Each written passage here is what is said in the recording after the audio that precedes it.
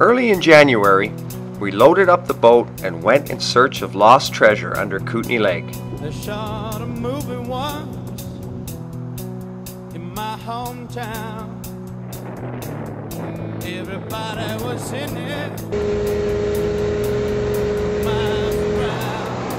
We picked up Bruce, a PADI master diver and vice president of the Submerged Scuba Club.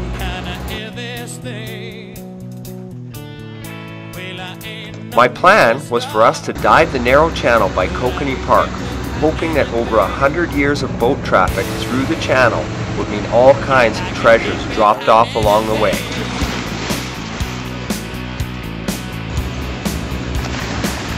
We jumped in and hit the bottom. We averaged around 60 feet deep. The visibility was around 30 feet.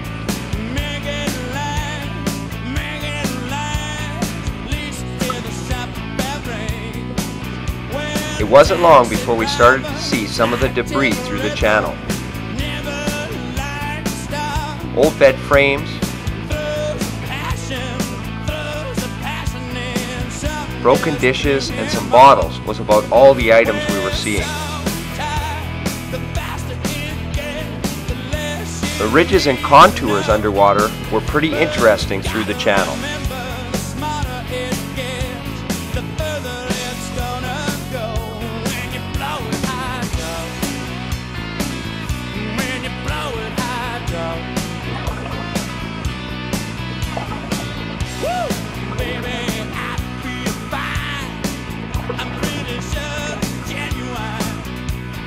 It wasn't the treasure hoard I was hoping for, but a good dive nonetheless for Bruce and I.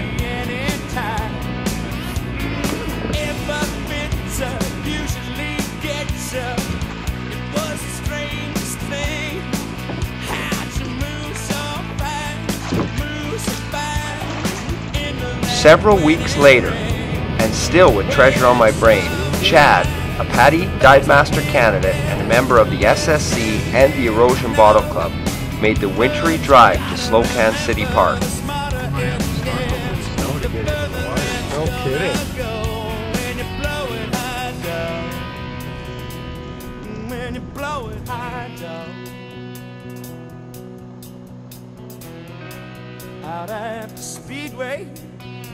It was a beautiful day in Winter Wonderland. I convinced Chad to do a quick lap around the boxcar before we went closer to the river's starting point. I can get behind anything. City. Yeah,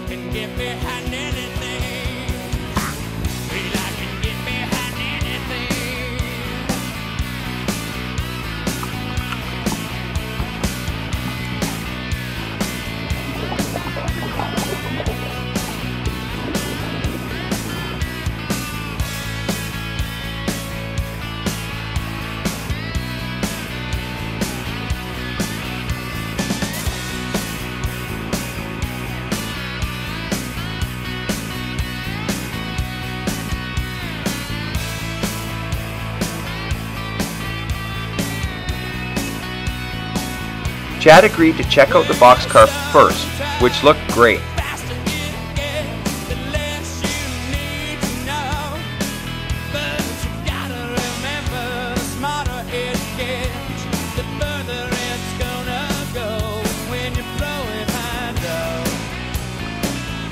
Chad did a quick lap around the boxcar and then beeline for the spot he'd noticed during his last dive in this area. He told me about a spot where he was seeing lots of bottles and debris from days gone by. Chad stops to grab his erosion tool he left on the way out to the boxcar and heads out to the debris field.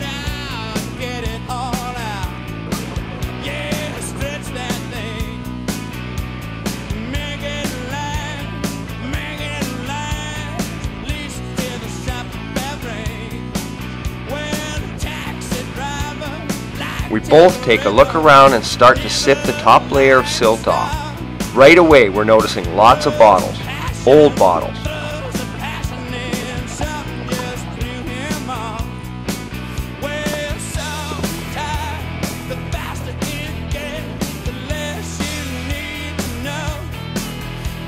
We did three dives each on this site that day. dive 2 we went on our separate ways, expanding our search pattern area. Before dive 3, Chad asked to borrow my big collection bag and the lift bag. I was pretty curious and having collected several great bottles myself on the second dive, I decided to follow Chad and see what was up. As he led me along, he began picking up bottles that he was forced to leave behind on dive 2 as his goodie bag wasn't big enough to bring them all back. Then we came upon the mound of history he had stacked up, and I was amazed as I filmed him bagging up his treasure pile.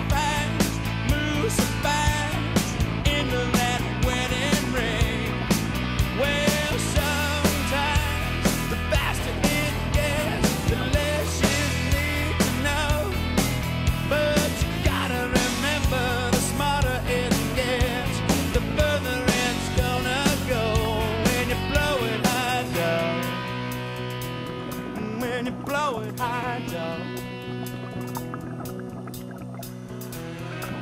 Out at the speedway, St. Nevis thing.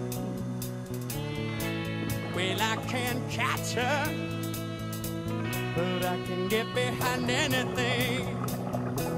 Yeah, I can get behind anything. Well, behind You couldn't wipe the smile off Chad's face if you tried. I'm surprised he could keep his regulator in place. He got the bag of history back to the exit safely and managed to get it up to the truck.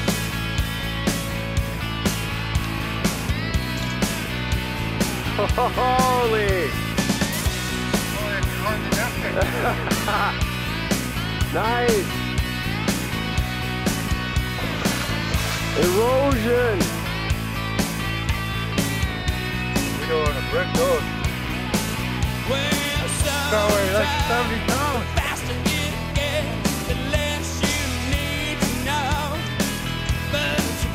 Remember the smarter What a great day of treasure hunting for both of us, and we'll definitely be back to this spot. blow it high down.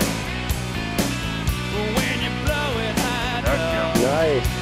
Yeah, blow it high down. Mm, blow it high down. Thank you for watching.